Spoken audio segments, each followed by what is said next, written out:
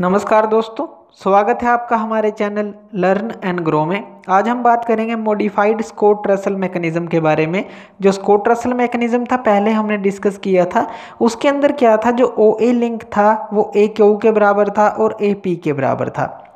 लेकिन जो modified Scott Russell mechanism है, उसके अंदर ऐसा नहीं है।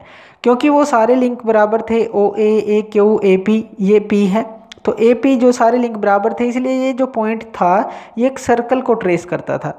लेकिन यहाँ पे जो है, अगर हम बात करें, जो हमारा लिंक ए पी है, ये वाला लिंक ए क्यू के इक्वल नहीं है। तो इसके अंदर A P not equal to A Q है। उसके अंदर A P equal to A Q था। तो इसलिए ये पॉइंट सर्कल को ट्रेस करता था।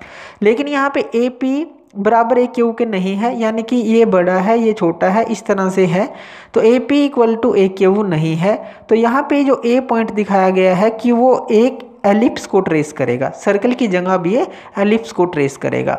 अब देखिए इलेक्ट्रिकल ट्रैमल के बारे में हम पढ़ चुके हैं, जिसके अंदर दो स्लाइडर होते थे और वो एक एलिप्स को ट्रेस करता था, बीच का जो लिंक का पॉइंट था। इसी तरह से मान लीजिए, जो पी क्यू है, इसके बीच में कोई पॉइंट ए है तो ये एलिप्स को ट्रेस करेगा और इलेक्ट्रिकल ट्रैमल की तरह ही काम करेगा।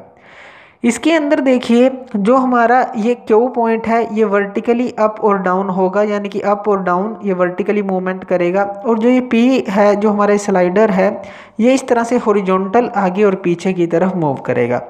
तो इसके अंदर ये दिखाया गया है कि जो मॉडिफाइड स्कोट रसल मैकेनिज्म है, उसके अंदर ये जो है एलिप्स जो है ट्रेस करेगा पॉइंट तो इसीलिए जो हमारे सेमी मेजर एक्सिस होते हैं, अगर एलिप्स को ट्रेस करेगा ये, और सेमी माइनर एक्सिस भी होगा।